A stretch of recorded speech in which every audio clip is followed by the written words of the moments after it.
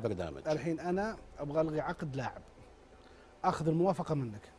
تاخذ موافقة مني ومن الاستدامة المالية. طيب إيش المطلوب عشان افتك أنا من هاللاعب؟ لاعب ما عجبني مو ناجح.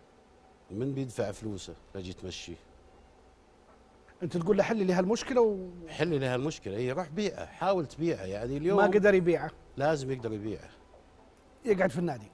يقعد في النادي ويدفع. ورايح من البجت حقته ولا معطيه عليها بجت ما هي مكافاه على سوء البلاننج اللي عنده والتخطيط حقه ما ما أقدر أكافئه. بس؟ في لعيبه ما تنجح ترى ابو زياد. ما عليه. تلقى لها بيعه أنت اليوم لازم اليوم ما طيب. اليوم بعد زي ولا لا أنا الميزانيات اللي قاعدين نعطيها الأندية عشان تتعاقد فيها. ترى شوف اليوم إحنا عندنا برنامج مركزي بس ترى مسؤولية التعاقد الرئيسية هي مسؤولية النادي. ما في لاعب يفرض على نادي. نهائي. أنا أنا أنا أنا ليش قاعد أقول لك كذا؟ يعني مثلا بعطيك مثال. اسلم. اللاعب عندي أنا ما بيه. وجيت عندك أنت قلت لي ما في بيع آه، ما- في انهاء عقد لين تدبر أمور المالية. قلت لك طب okay أبو زياد أنا ببيع اللاعب أي بيعه عشان أفتك منه وأنت اخصمها من ميزانيتي القادمة. أي. يمشي هالكلام ولا ما يمشي؟ ويغطي ال deficit اللي بينهم. اي بيغطيه هو. لا لا؟ من فلوسك بتعطيني إياها. لا لا معلش. اليوم أنا أعطيتك في لاعب ما قيمته مثلا 50 مليون ريال في السنة. طيب. وجيت اللاعب هذا لقيت له إعارة في مكان ما. بمليونين زي مليونين. باقي 48 مليون بيغطيها أنت ما بتعطيني 100 مليون بعدين؟ ما هي معطيك 100 مليون لا. ليش ليش؟ أعطيك 100 مليون؟ أنت مو أنا مو لي ميزانية مخصصة في صحيح لك ميزانية مخصصة بس أنت الحين رحت. يا معلش. بتعطيني الفلوس تقول لي على لاعب جديد ما تدفع ما تدفع 48 لا في لا السابق. إيه إيه. اليوم أي شيء أي دفست عندك عجز. في البرنامج هذا عجز موجود عندك. مم. انت تتحمله. لا ليش أتحمل أنا؟ أنا ما أبغاك تتحملها أنا آه. أبغى اتحملها من ميزانيتي اللي أنت بتعطيني إياها. بعطيك طيب بس أنت بكم قاعد تبيع اليوم؟ اللاعب هذا مو بكم كم قاعد تبيع. اللاعب كم يكلف خزينتنا إحنا في البرنامج؟ كم يكلفنا؟ اي مرحبا. أنا فهمت إيه. كلامك. الحين أنت مو خلينا نفترض إن أنت تعطيني أنا يا ترك العجمة نادي أيوه. ترك العجمة كل صيف 100 مليون. نفترض. ميزانيتي 100 مليون. وأنا عندي لاعب بيفتك منه وما قدرت أدبر له بيعه إلا ب 3 مليون. فصار عندي نجز آه عجز 47 مليون صح ولا لا؟ تأخذ 3 مليون.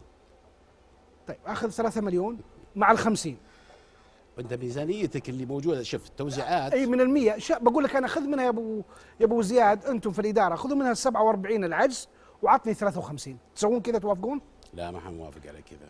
تقول لي ال 100 مليون مخصصة للاعب جديد ما إيه. تحل فيها مشاكل لاعب سابق لا مو مو بس كذا مو بس كذا آه. اليوم أنت معلش اليوم اليوم إحنا تعاقدنا أنا ما ما فهمتك صح يا أبو جو فخليني بفهمك الموضوع بالمنطق نفهمه إحنا طيب. عشان تسألني سؤالك بالطريقة الصحيحه أوكي طيب. فخليني أبدأ لك من أولها يلا. اليوم الأندية في الصيف هذا تعاقدت ولكنها مع تعاقدها التزمت للسنة الجاية والسنة اللي بعدها وفي بعض العقود حتى وصلت ثلاث سنوات أو أربع طيب. سنوات.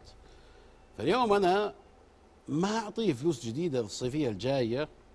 زين؟ المبلغ اللي عنده بالتوزيعات يجب إنه يغطي رواتب اللعيبة اللي جابهم الصيف هذا. عظيم. زين؟ فهذا القاعدة الأولى okay. في الموضوع هذا. فأنا اليوم هدفي الرئيسي إنه يغطي التزامات النادي هذا. ممتاز. okay؟ عمليات البيع والشراء يحصل؟ في لاعب ممكن تجيه إصابة يعني على قولتهم ما يقدر يلعب مدة سنتين. ممكن الإصابة تنهي حياته الرياضية. مم. هذا الشيء يحصل. زي ولا لا؟ ولكن البرنامج اليوم ما حيتحمل تبعات بيع وشراء غير محسوب. هذه الصورة مرة واضحة. تسلم. أنت أعطيتني مليار جبت أنا سبع لاعبين أو ثمانية لاعبين واحد منهم ما نجح. مم. أنت مخطط الصيف الجاي حسب البرنامج إنه أنا ممكن يكون مح مح لي 100 مليون لأنه أنت أعطيتني مليار. 100 مليون خارج رواتب هذولي اللي أنا متعاقد معاهم لمدة سنتين. تعطيني 100 مليون. أنا اللاعب ذا اللي عندي اللي أنا ما هو بناجح ما عرفت أبيعة بيعه كويسة وصار هو قيمته 50 مليون بعته بثلاثة بثلاثة مليون صار في عجز 47 وأنت مخطط تعطيني 100 بتعطيني ال 100 وتقول لي هذه 100 لازم يكون فيها لعيبة جدد لاعب جديد ولا بتقول لي هذه 100 حل مشكلة اللاعب اللي انت تخلصت منه والفايض جيب فيه اللي تبيه؟ آه،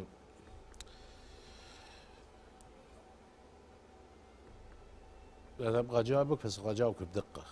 اليوم ميزانيه النادي المخصصة له من برنامج أو من مداخيله so as long as النادي ما يدخلني في مشاكل. أوكي؟ هذا هذا مهم. ما يدخلني في تبعات مالية وقانونية. زولا له حق اتصرف في فلوسه. ممتاز هذا اللي نسال عنه. إيه. يعني أنت بس تقول له هذه ال 100 مليون يا تركي بس الله يخليك أبغى كل العقود اللي عندك ملتزم فيهم اللي يفيض عندك تصرف فيه أنت. ما ما عندك مشكلة في الموضوع. لا لا ما في اللي يفيض يتصرف فيه. هو اللي يفيض يتصرف فيه في موضوع الاستقطابات. اي اي اي معك إيه، انت إيه. اي أنا هذا إيه،. تصرف فيها مو بي- بيروح ياخذهم يشتري فيهم سيارات. على فكرة طيب لا بياخذها. اللعيبه الآن النادي اللي جاي يتعاقد يا أبو جود. النادي حتى اللي جاي يتعاقد تعاقدات جديدة ترى يجي ويتواصل معانا. أنا عندي ونقعد معاه. أنا عندي التعاقد الفلاني. أنا أبغى أجيب المركز الفلاني. الخانة الفعلية عندي ثلاثة options وش تبعات المالية حقتها؟ فيها كذا وكذا. بقول لك شيء وش كنا نسوي في الصيف؟ يعني اليوم واحد 90 لاعب مش ممكن جالس معهم كلهم. أنا يمكن ما جلس ولا يمكن سبعة أو عشرة مباشر. زين؟ اليوم إحنا ليش نطلب من الأندية تقدم لنا؟ إحنا نطلب من الأندية ونقول له وش ال range اللي عندك حق اللاعب هذا؟ قيمة ال transfer حقه انتقال مثلا بين مليون إلى مليون ونص. راتبة السنويه قيمتها مليونين إلى مليونين ونص. النادي بعدها نخليه يروح. إحنا راجع العقود. على فكرة في الصيف هذا إحنا في الشهرين مراجعين 120 عقد ما بين برافو. عقود انتقال برافو. عقود لعيبة.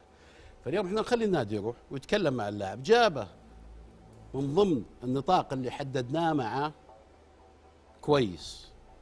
ما قدرنا يجيبه أو إن اللاعب ما رضى يجي أو الوكيل حقه قال لا أبي زيادة أو أي شيء هذا يحصل. يعني إحنا اليوم في البرنامج قدمت لنا 148 طلب من الأندية. اللي يوافق عليها ترى 89 في منها مجموعة فوق ال 50 هاي ترى ما ما موافق عليها لأسباب كثيرة يا إن المفاوضات ما اكتملت يا انه اللاعب يعني مطالباته صارت كثيرة أو إن اللاعب في وسط المفاوضات لقى مثلا اوبشن أو خيار ثاني وراح له بدل ما يجي عندنا.